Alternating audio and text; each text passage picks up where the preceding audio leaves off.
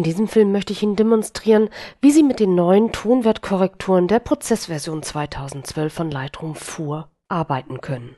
Der Belichtungsregler ist nach wie vor der Regler, der sich am meisten auf das komplette Bild auswirkt, weil er von der Mitte aus alle Tonwerte nach links oder rechts verschiebt. Allerdings macht er das mit Hauptbetonung auf die Mitteltöne, so dass sich nicht so schnell beschnittene Lichter oder beschnittene Tiefen einblenden. Durch einen Doppelklick auf das Dreieck im Regler setze ich diesen mal zurück. Unter dem Kontrastregler haben Sie vier Regler, die sich um die einzelnen Tonwertbereiche links und rechts von den Mitteltönen aus gesehen kümmern. Und das sind einerseits die Lichter und Tiefen, also auch noch Mitteltöne, die aber relativ stark im Schatten- oder Lichterbereich stehen. Und dann noch das Weiß, also die ganz hellen Spitzlichter und das Schwarz, die ganz tiefen Tiefen. Sehr praktisch dabei ist, dass alle diese fünf Regler auf die gleiche Art und Weise funktionieren. Damit meine ich nicht nur, dass alle jetzt neuerdings von dunkel links nach rechts hell reagieren, sondern dass sie auch auf Tastenkürzel bzw. Hilfstasten reagieren, die sonst nur dem Belichtungs- und Schwarzregler vorbehalten waren. Dazu gehört zum Beispiel die Alt-Taste.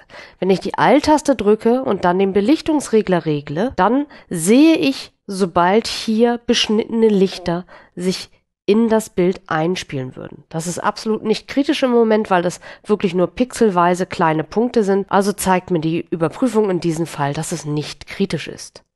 Genauso verhält sich das auch in den vorangegangenen Versionen mit Schwarz. Hier kehrt sich das ganze Bild um.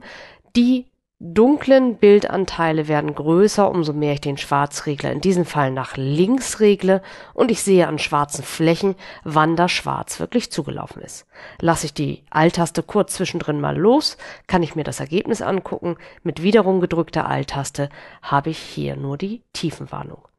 Und das gilt jetzt tatsächlich für alle diese Regler. Auch wenn ich jetzt von einer höher gezogenen Belichtungen heraus die Lichter, also die sehr hellen Mitteltöne noch bearbeiten möchte, kann ich die Alt-Taste drücken und sehe dann auch hier bei meiner Bearbeitung, wie die kritischen Lichter abnehmen bzw. zunehmen.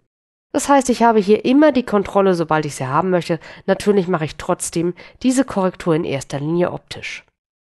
So, ich ziehe jetzt einfach mal beide Mitteltöne die an die Belichtung rangrenzen, nach unten. Das heißt, ich habe die ganz mittleren Mitteltöne nach oben gezogen und die tiefen nach unten gezogen. Das heißt, ich baue hier zwischen den Kontrast auf. Und dann kümmere ich mich noch um beschnittene Lichter und Tiefen. Das heißt, ich gehe in das Weiß und kann das Weiß abdunkeln. Und das sehen Sie optisch im Bild sehr schnell, insbesondere wenn Sie hier zum Beispiel auf diese weiße Fläche gucken, wie Sie dieses hier runtersenken können. Das Schöne jetzt in der Prozessversion 2012 ist, dass diese Arbeitsbereiche, die die einzelnen Regler anfassen, relativ eng voneinander abgegrenzt sind. Natürlich nicht hundertprozentig, denn sonst würde es ja irgendwann eine Abflachung der Tonwertkurve geben, sondern diese sind halt sehr stark auf den Bereich begrenzt, den man hier angibt und nur die direkt angrenzenden Bereiche werden deutlich mitkorrigiert. Und das hilft mir auch, diese Regler wirklich sehr, sehr schön und sehr fein einzusetzen.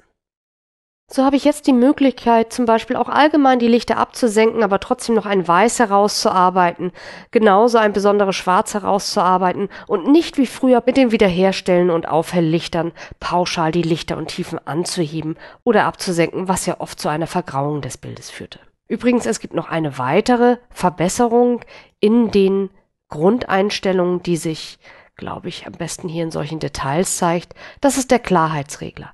Der Klarheitsregler ist ja ein sehr dankbarer Regler für detailverliebte Bilder wie diese. Und dieser tendierte allerdings leicht dazu, Artefakte zu zeigen.